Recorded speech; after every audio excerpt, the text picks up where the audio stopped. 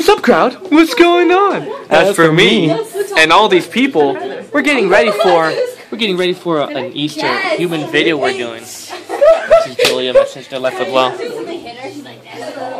and Satan. Everyone, Dark Warehouse here. So we got we got Jesus What here. we, what we talk about? Jesus. Oh, he speaks English. I thought it was Aramaic, dude. All the languages of the world. And, and we got kids here. They're doing absolutely nothing. Yeah. Yeah. It's like No responsibilities. The days of being the days of being kids. And these are our people. I'm cutting myself. These are people. You shouldn't be happy about that. I have a porno. The- These people have addictions, gonna be a laptop and Jesus here rescues them My from strange them. addiction. So it's awesome. I cat hair. But I want to show you real quick I like my um, how. Hello. I want to show you how the the building looks like the new building. I told you guys I would. So excuse me. So where is it? Oh, I went the wrong side. I can go here, look, you can check it out.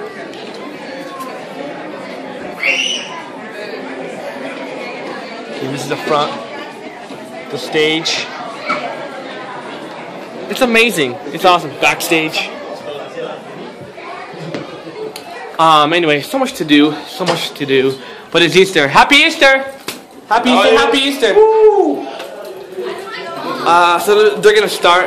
I got my Easter uh, little tie on. Anyway, and uh, George here is the businessman.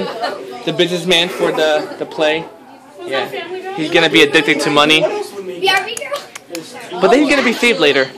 But anyway, look look at Jesus just just lounging about, man. Look at that hair. Look at that hair.